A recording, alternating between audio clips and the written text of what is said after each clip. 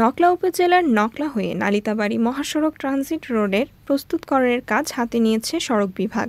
Bypass মোড়ের প্রস্তুতকরণের কাজ শুরু করেছেন শেরপুর সড়ক বিভাগ নির্বাহী প্রকৌশলী জনাব খন্দকার শরীফুল আলম।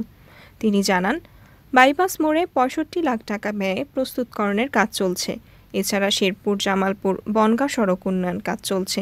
শীঘ্রই শেরপুর ময়মনসিংহ সড়ক প্রস্তুতকরণ ও মজবুতিকরণের কাজ শুরু করা হবে।